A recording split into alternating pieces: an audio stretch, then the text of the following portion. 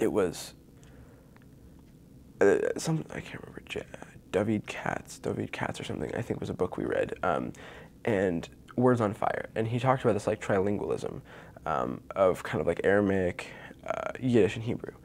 or Aramaic, um, ancient Hebrew, and Yiddish before before the new Hebrew came. Um, and and to me, I like I wrote about this kind of like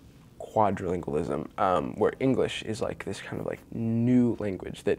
where kind of like with each new language, the other ones are kind of like pushed back into this like canon, and now we've kind of like reached English as like the you know talkative language, and you know bits and pieces of all the other languages have come in, but kind of Yiddish along with that has moved to that canon, and whereas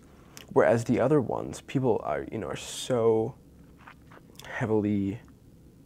a lot of times invested in, in religious aspects, not so much a lot of times in the historical aspects. So whereas Aramaic, which people don't really even know about, and ancient Hebrew kind of went um, back in that canon, it was like, okay, we're still going back. We're still studying the Torah, and we're still studying, you know, you know, Talmud, and that's not as ancient, but you know, um, stuff like that. But kind of Yiddish kind of went back, but it went into this like limbo because it wasn't directly tied to the, anything eternal, you know, because it was kind of the people's language, you know, and it wasn't it wasn't as tied down as ancient Hebrew was. Um, but I mean, I think there's some a million people that speak it as their main language today, and um, and I guess there's that odd distinction between um, Hebrew and um,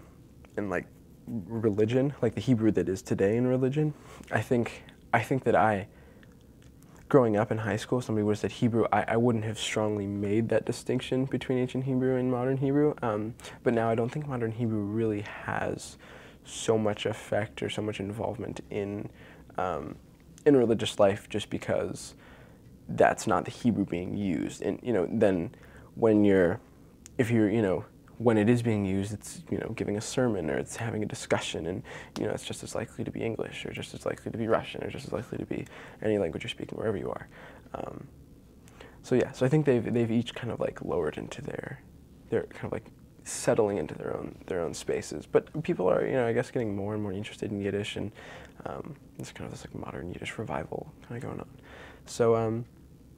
so yeah, I don't, I'm interested to see what will happen with that. Um, but I don't know. One, one thing one thing we talked about in the class again was um, that some people kind of are aspiring to still bring Yiddish back into the you know the way you know the old ways, um, but kind of that it's sometimes more necessary to realize that we're not going back to that way because I mean that was a place where millions and millions of people spoke this as their main language and it was you know everything to them just it was books and you know it was starting to get so far and then and the Holocaust happened and you know it, it's terrible and it's awful and you don't you know want to let that ruin something but you know to a degree it did and you know, a lot of other reasons and assimilation and people moving to America also but um, Yiddish is finding its place.